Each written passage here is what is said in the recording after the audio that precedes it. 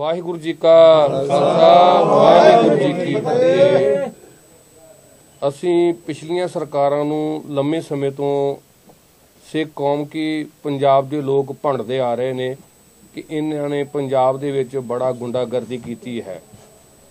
ਪਰ ਜਿਹੜੀ ਹੁਣ ਸਰਕਾਰ ਅਸੀਂ ਲੋਕਾਂ ਨੇ ਵੋਟਾਂ ਪਾ ਕੇ ਬਣਾਈ ਸੀ, ਲੋਕਾਂ ਨੂੰ ਬੜੀ ਆਸ ਸੀ, ਪਰ ਆਸ ਤੇ ਇਹਨਾਂ ਨੇ ਪਾਣੀ ਫੇਰ ਲਿਆ ਹੈ। ਇਸ ਸਰਕਾਰ ਨੇ ਉਹਨਾਂ ਨਾਲੋਂ ਵੀ ਜ਼ਿਆਦਾ। ਜਿਹੜੇ ਤਾਂ ਸਿੱਖ ਲੰਮੇ ਸਮੇਂ ਤੋਂ ਕੋਈ ਗੁਰੂ ਗ੍ਰੰਥ ਤੇ ਪੰਥ ਦੀ ਆਵਾਜ਼ ਉਠਾਉਂਦਾ ਆ ਰਿਹਾ ਹੈ, ਉਹਨੂੰ ਪ੍ਰਸ਼ਾਸਨ ਰਾਹੀਂ ਸਰਕਾਰਾਂ ਦਬਾਉਂਦੀਆਂ ਆ ਰਹੀਆਂ ਨੇ।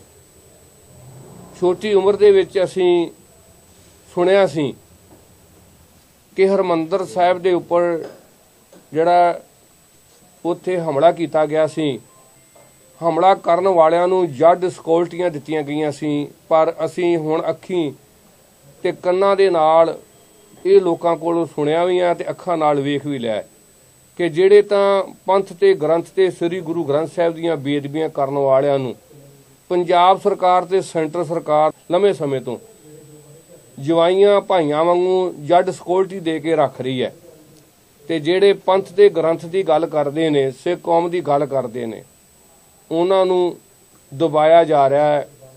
ਪਰ ਮੈਂ ਇੱਕ ਗੱਲ ਕਹਿ ਦੇਵਾਂ, ਪੰਜਾਬ ਸਰਕਾਰ ਨੂੰ ਕਿ ਸਾਡਾ ਸੁਭਾਅ ਦੱਸਾਂ ਕੀ ਹੈ ਕਿ ਜਿਵੇਂ ਗੇਂਦ ਨੂੰ ਤੁਸੀਂ ਜਿੰਨਾ ਜ਼ੋਰ ਦੇ ਨਾਲ ਧਰਤੀ ਤੇ ਮਾਰੋਗੇ, ਉਨੀ ਇਹ ਜਿਆਦੀ ਉੱਪਰ ਨੂੰ ਜਾਵੇਗੀ। ਜਿੰਨਾ ਤੁਸੀਂ ਚਾਹੁੰਦੇ ਕਿ ਇਹ ਸਿੱਖ ਕੌਮ ਦਬਾਈ ਜਾਵੇ, ਇਹਨੂੰ ਦਬਿਆ ਜਾਵੇ, ਇਹ ਦੱਬਣ ਵਾਲੀ ਕੌਮ ਨਹੀਂ। ਇਹ ਤੇ ਮੰਨੂ ਦੇ ਵੇਲੇ ਵੀ ਬੜਾ ਉਹਨੇ ਜ਼ੁਲਮ ਕੀਤਾ ਸੀ, ਸਿੱਖ ਕੌਮ ਨੂੰ ਖਤਮ ਕਰਨ ਵਾਸਤੇ ਤਹੀਆ ਕੀਤਾ ਸੀ, ਉਦੋਂ ਨਹੀਂ ਹੋਈ।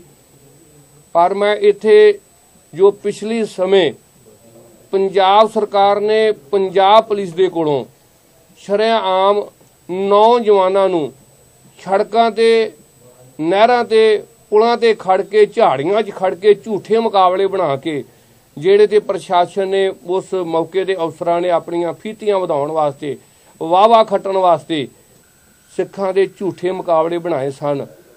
ਉਹਨਾਂ ਦੇ ਘਰਾਂ 'ਚ ਇਸ ਵੇਲੇ ਘਾਹ ਉਗਿਆ ਜਿਨ੍ਹਾਂ ਦੇ ਬਣਾਏ ਨੇ, ਉਹਨਾਂ ਦੇ ਘਰ ਹੱਸਦੇ ਤੇ ਵਸਦੇ ਨੇ।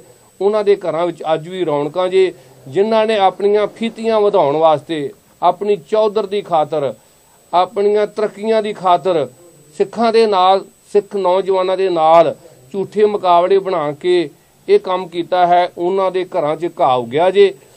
ਮੈਂ ਇੱਕ ਬੇਨਤੀ ਹੋਰ ਕਰ ਦੇਵਾਂ ਕਿ ਇਹ ਜਿਹੜੀ 27 ਤਰੀਕ ਨੂੰ ਮੀਟਿੰਗ ਰੱਖੀ ਗਈ ਹੈ, ਇਹ ਮੈਂ ਕੌਮ ਨੂੰ ਬੇਨਤੀ ਕਰਦਾ ਵਾਂ, ਇਹ ਠੰਡੇ ਬਸਤੇ ਦੇ ਵਿੱਚ ਲੋਕਾਂ ਨੂੰ ਸ਼ਾਂਤ ਰਹਿਣ ਵਾਸਤੇ ਇਹ ਕੀਤੀ ਜਾ ਰਹੀ ਹੈ। ਕਿਉਂਕਿ ਕਹਿਣਗੇ ਕਿ ਹਾਂ, ਇਹਨਾਂ ਨੇ ਮੀਟਿੰਗ 18 ਤਰੀਕ ਦੀ ਇਹ ਘਟਨਾ ਹੈ।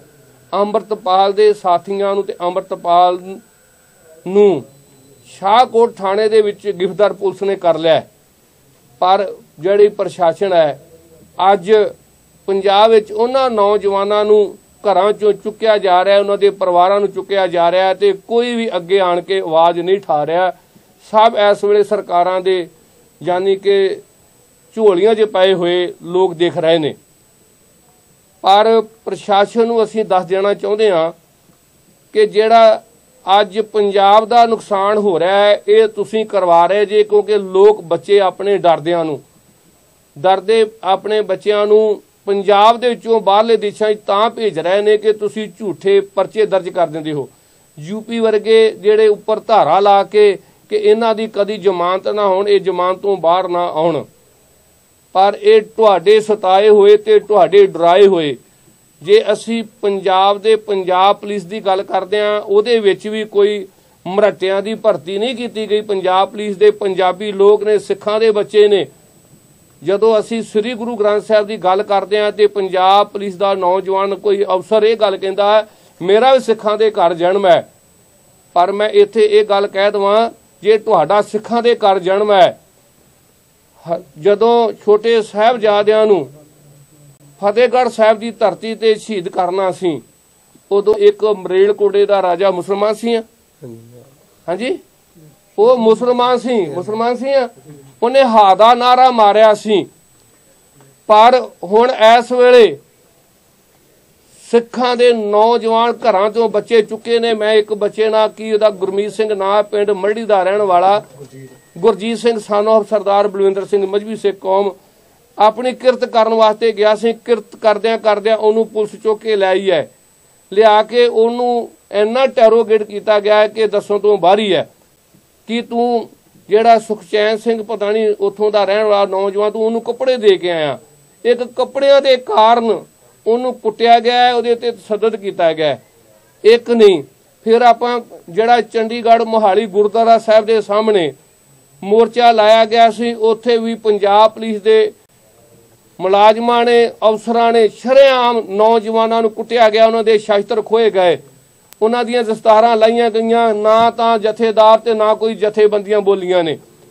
ਇਦਾਂ ਹੀ ਜੇ ਸਾਨੂੰ ਪ੍ਰਸ਼ਾਸਨ ਕਹਿੰਦਾ ਕਿ ਕਾਨੂੰਨ ਹੱਥ ਵਿੱਚ ਨਾ ਲਿਓ, ਅਸੀਂ ਕਾਨੂੰਨ ਹੱਥ ਵਿੱਚ ਨਹੀਂ ਲੈਂਦੇ, ਪਰ ਕਾਨੂੰਨ ਦੇ ਰਾਖਿਓ। ਮੈਨੂੰ ਇਹ ਦੱਸ ਦਿਓ ਕਿ ਤੁਹਾਨੂੰ ਕਿੱਥੋਂ ਇਜਾਜ਼ਤ ਮਿਲੀ ਹੈ? ਇਹ ਤੁਹਾਨੂੰ ਜੇ ਤੇ ਦਿੱਤੀ ਹੈ, ਭਗਵੰਤ ਮਾਨ ਨੇ ਜਾਂ ਦਿੱਤੀ ਹੈ ਪ੍ਰਧਾਨ ਮੰਤਰੀ ਮੋਦੀ ਨੇ ਕਿ ਇਹ ਜਿਹੜੇ ਸਿੱਖ ਬੈਠੇ ਨੇ, ਇਹਨਾਂ ਦੇ ਉੱਤੇ ਡਾਂਗਾਂ ਦੀਆਂ ਵਾਸ਼ਰਾਂ ਕਰ ਦਿਓ, ਇਹਨਾਂ ਦੀਆਂ ਦਸਤਾਰਾਂ ਲਾ ਦਿਓ, ਇਹਨਾਂ ਦੀ ਕੁੱਟਮਾਰ ਕਰੋ, ਇਹਨੂੰ ਧੋਇਆ ਜਾਵੇ। ਹਰੀ ਕੇ ਪੱਤਨ ਦੇ ਉੱਪਰ ਗੱਡੀਆਂ ਭੰਨੀਆਂ ਗਈਆਂ ਨੇ। ਕਿੰਨਾਂ ਨੇ ਬਣਾਈਆਂ ਨੇ, ਕਿਸੇ ਦੀ ਜ਼ਰੂਰਤ ਨਹੀਂ, ਮੁਲਾਜ਼ਮ ਕੋਈ ਕਿਸੇ ਦੇ ਢੀ ਮਾਰ ਦੇਵੇ। ਇਹ ਤੁਹਾਡੀ ਸ਼ਹਿ ਦੇ ਨਾਲ, ਤੁਹਾਡੇ ਕਹਿਣ ਦੇ, ਤੁਹਾਡੇ ਹੁਕਮਾਂ ਅਨੁਸਾਰ ਇਹ ਸਭ ਕੁਝ ਹੋਇਆ ਹੈ। ਪਰ ਇਹ ਅਸੀਂ ਤਾਂ ਬਗਰਾੜੀ ਦੇ ਮੋਰਚੇ ਦਾ ਇਨਸਾਫ ਮੰਗਦੇ ਸੀ ਬਹਿਵੇ ਕਲਾਂ ਦੇ ਮੋਰਚੇ ਦਾ ਇਨਸਾਫ ਮੰਗਦੇ ਸੀ। ਸਰਕਾਰਾਂ ਕੋਲੋਂ ਤੇ ਲੋਕਾਂ ਨੇ ਕਿਹਾ, ਇਹ ਜਿਹੜੀ ਨਵੀਂ ਸਰਕਾਰ ਬਣੀ, ਇਹ ਦੇਵੇਗੀ। ਪਰ ਇਹ ਸਰਕਾਰ ਨੇ ਵੀ ਸਿੱਖਾਂ ਦੇ ਉੱਤੇ ਏਡਾ ਵੱਡਾ ਤਸੱਦਦ ਕਰ ਦਿੱਤਾ ਹੈ। ਆਉਣ ਵਾਲੇ ਸਮੇਂ ਦੇ ਵਿੱਚ ਜਿੱਦਾਂ ਪਹਿਲੀਆਂ ਸਰਕਾਰਾਂ ਗਈਆਂ ਨੇ, ਇਹ ਵੀ ਸਰਕਾਰ ਆਪਣੀ ਤਿਆਰੀ ਕਰ ਲਵੇ। ਦੂਸਰੀ ਬੇਨਤੀ ਹੈ ਕਿ ਜਿਹੜੀ ਜਥੇਦਾਰਾਂ ਨੇ ਹੁਣ ਮੀਟਿੰਗ ਰੱਖੀ ਹੈ 27 ਤਰੀਕ ਨੂੰ, ਮੈਂ ਪੁੱਛਣਾ ਚਾਹੁੰਦਾ ਹਾਂ ਕਿ ਜਥੇਦਾਰ ਸਾਹਿਬ ਜੀ, ਇਹ ਜਿਹੜੀ ਤੁਸੀਂ 27 ਨੂੰ ਰੱਖੀ ਹੈ, ਘਟਨਾ ਤੇ 18 ਤਰੀਕ ਦੀ ਹੈ, ਸ਼ਾਹਕੋਟ ਦੇ ਵਿੱਚੋਂ ਨੌਜਵਾਨਾਂ ਨੂੰ ਪੁਲਿਸ ਲੈ ਗਈ ਹੈ ਫੜ ਕੇ। ਤੁਸੀਂ ਤਾਂ ਤੁਰੰਤ ਜਿਹੜੀਆਂ ਜਥੇਬੰਦੀਆਂ ਦੇ ਨੁਮਾਇੰਦਿਆਂ ਨੂੰ ਸੱਦਣਾ ਸੀ, ਉਹ ਕੋਈ ਬਾਹਰਲੇ ਦੇਸ਼ਾਂ ਤੋਂ ਨਹੀਂ ਆਉਣੇ ਕਿ ਉਹਨਾਂ ਦੀਆਂ ਟਿਕਟਾਂ ਨਹੀਂ ਹੋਈਆਂ। ਉਹ ਪੰਜਾਬ ਦੇ ਵਿੱਚ ਹੀ ਰਹਿਣ ਵਾਲੇ ਲੋਕ ਸਨ। ਤੁਸੀਂ ਤੁਰੰਤ 18 ਤਰੀਕ ਵਾਲੇ ਦਿਨ ਜਿਹੜੀ ਘਟਨਾ ਉਦੋਂ ਵਾਪਰੀ ਸੀ, ਤੁਸੀਂ 19 ਤਰੀਕ ਨੂੰ ਰੱਖ ਲੈਂਦੇ ਕਿ ਜਿਸੇ ਵੀ ਸਰਕਾਰ ਨੇ ਜਾਂ ਸਰਕਾਰ ਦੇ ਮੁਲਾਜ਼ਮਾਂ ਨੇ ਸਿੱਖਾਂ ਦੇ ਉੱਤੇ ਕੋਈ ਵੀ ਕਿਸੇ ਕੰਮ ਦਾ ਤਸੱਦਦ ਕੀਤਾ ਤੇ ਅਸੀਂ ਸ੍ਰੀ ਅਕਾਲ ਤਖਤ ਤੋਂ ਐਲਾਨ ਕਰਾਂਗੇ ਤੇ ਇਥੋਂ ਜਥੇ ਭਾਵੇਂ ਸਾਨੂੰ ਗਿਫਟਾਰੀਆਂ ਦੇਣੀਆਂ ਪੈਣ ਤੇ ਭਾਵੇਂ ਸਾਨੂੰ ਵੀ ਸ਼ਹੀਦੀਆਂ ਦੇਣੀਆਂ ਪੈਣ, ਤੁਸੀਂ ਸਰਕਾਰ ਦੇ ਕਿਉਂਕਿ ਪਿੱਠੂ ਜੇ ਸਰਕਾਰ ਦੀ ਬੋਲੀ ਬੋਲਦੇ ਜੇ ਕਿ ਕੰਮ ਠੰਡੇ ਬਸਤੇ ਵਿੱਚ ਪੈ ਜਾਵੇ, ਤਾਂ ਕਰਕੇ ਤੁਸੀਂ 27 ਤਰੀਕ ਨੂੰ ਰੱਖੀ ਹੈ, ਜਿਹੜੀ 27 ਤਰੀਕ ਨੂੰ ਮੀਟਿੰਗ ਰੱਖੀ ਹੈ, ਉਹ ਵੀ ਲੋਕਾਂ ਨੂੰ ਪਤਾ ਹੀ ਹੈ ਕਿ ਤੁਸੀਂ ਇਸ ਮਸਲੇ ਨੂੰ ਸ਼ਾਂਤ ਕਰਨ ਵਾਸਤੇ ਜਿਹੜੇ ਪ੍ਰਸ਼ਾਸਨ ਦੇ ਉੱਚ ਅਧਿਕਾਰੀ ਨੇ, ਜਿਨ੍ਹਾਂ ਨਾਲ ਤੁਹਾਡੀ ਰੋਟੀ ਬੇਟੀ ਦੀ ਸਾਂਝ ਹੈ, ਉਹਨਾਂ ਦੇ ਕਹਿਣ ਤੇ ਰੱਖੀ ਹੈ ਅੱਜ ਵੇਖ ਲੈਂਦੇ ਆ 27 ਤਰੀਕ ਦੀ ਮੀਟਿੰਗ ਵਾਲੇ ਦਿਨ। ਜਥੇਦਾਰ ਸਾਹਿਬ ਜੀ, ਤੁਸੀਂ ਜਿਹੜੇ ਐ ਸਾਡੀਆਂ ਸੰਸਥਾਵਾਂ ਦੇ ਮੁਖੀ ਨੇ, ਇਹ ਕੀ ਫੈਸਲਾ ਲੈਂਦੇ ਨੇ? ਜੇ ਤੁਸੀਂ 11 ਮੈਂਬਰੀ ਕਮੇਟੀਆਂ ਦੇ ਲੰਮੇ ਸਮੇਂ ਤੋਂ ਤੁਹਾਡਾ ਸੁਭਾਅ ਬਣਿਆ ਬਣਾਉਣੀਆਂ ਤੇ ਕੰਮ ਠੰਡੇ ਬਸਤੇ ਵਿੱਚ ਪਾ ਦੇਣਾ, ਇਹ ਬਰਦਾਸ਼ਤ ਕਰਨ ਤੋਂ ਬਾਹਰੀ ਜੇ, ਅਸੀਂ ਸਰਕਾਰ ਨੂੰ ਕਹਿਣਾ ਚਾਹੁੰਦੇ ਆ ਕਿ ਜਿਹੜੇ ਤੁਸੀਂ ਕੰਮ ਅਸੀਂ ਚਾਹੁੰਦੇ ਸਾਂ ਕਿ ਪਹਿਲੀਆਂ ਸਰਕਾਰਾਂ ਨੇ ਕੀਤੇ ਸਨ, ਝੂਠੇ ਪਰਚੇ ਦਰਜ ਕਰਕੇ ਹੁਣ ਵੀ ਝੂਠੇ ਪਰਚੇ ਦਰਜ ਕਰਕੇ ਨੌਜਵਾਨਾਂ ਨੂੰ ਜੇਲ੍ਹਾਂ ਦੇ ਅੰਦਰ ਸੁੱਟਿਆ ਜਾ ਰਿਹਾ ਹੈ। ਧਰਾਵਾਂ ਉਹ ਲਾ ਰਹੇ ਨੇ ਕਿ ਇਹਨੇ ਕੱਪੜੇ ਦੇ ਦਿੱਤੇ, ਕੱਪੜੇ ਦੇ ਦਿੱਤੇ, ਕੋਈ ਕੀ, ਕੋਈ ਹਥਿਆਰ ਦੇ ਦਿੱਤੇ ਨੇ, ਦਿੱਤੇ ਤੇ ਕੱਪੜੇ ਨੇ। ਤੇ ਤੁਸੀਂ ਵੀ ਸਰਕਾਰਾਂ ਕੋਲ ਵਰਦੀਆਂ ਲਈਆਂ ਨੇ ਇਦਾਂ ਜੇ ਸਿੱਖ ਸਿੱਖ ਦੀ ਕੋਈ ਮਦਦ ਕਰ ਦਿੰਦਾ ਹੈ, ਤੁਹਾਨੂੰ ਬੜਾ ਵੱਡਾ ਗੁਨਾਹ ਜਾਪਦਾ ਹੈ। ਪਰ ਅਸੀਂ ਇੱਥੇ ਅੱਜ ਜਥੇਬੰਦੀਆਂ ਜਿਹੜੀਆਂ ਸਤਕਾਰ ਕਮੇਟੀਆਂ ਲੰਮੇ ਸਮੇਂ ਤੋਂ ਸੇਵਾਵਾਂ ਪੰਜਾਬ ਵਿੱਚ ਕਰ ਰਹੀਆਂ ਨੇ ਜੇ ਸਾਨੂੰ ਕੋਈ ਵੀ ਕਿਸੇ ਤਰ੍ਹਾਂ ਦਾ ਕਦਮ ਚੁੱਕਣਾ ਪਿਆ, ਅਸੀਂ ਜ਼ਰੂਰ ਚੁੱਕਾਂਗੇ। ਉਹਦਾ ਪੰਜਾਬ ਸਰਕਾਰ ਤੇ ਸੈਂਟਰ ਸਰਕਾਰ ਜ਼ਿੰਮੇਵਾਰ ਹੋਵੇਗੀ। ਦੂਜੇ ਜਿਹੜੇ ਨੇ, ਉਹ ਸ਼ਰੇਆਮ ਘੁੰਮਦੇ ਫਿਰਨ ਜਿਹੜੇ ਗੁਰੂ ਗ੍ਰੰਥ ਸਾਹਿਬ ਦੇ ਪੰਥ ਤੇ, ਗ੍ਰੰਥ ਤੇ, ਸਿੱਖਾਂ ਦੇ ਇਤਿਹਾਸ ਬਾਰੇ ਉਲਟ ਬੋਲਣ, ਉਹਨਾਂ ਨੂੰ ਤੁਸੀਂ ਸਿਕਿਉਰਟੀਆਂ ਦਿਓ ਤੇ ਜਿਹੜਾ ਸਿੱਖੀ ਦਾ ਪ੍ਰਚਾਰ ਪ੍ਰਸਾਰ ਕਰੇ, ਉਹਨਾਂ ਨੂੰ ਤੁਸੀਂ ਯੂਪੀ ਲਾ ਕੇ ਹੋਰ ਧਰਾਵਾਂ ਸਖਤ ਲਾ ਕੇ ਉਹਨਾਂ ਦੇ ਅੰਦਰ ਜੇਲ੍ਹਾਂ ਵਿੱਚ ਸੁੱਟੋ। ਇਹ ਬਰਦਾਸ਼ਤ ਕਰ ਦੋ ਬਾਰੀ ਜੀ।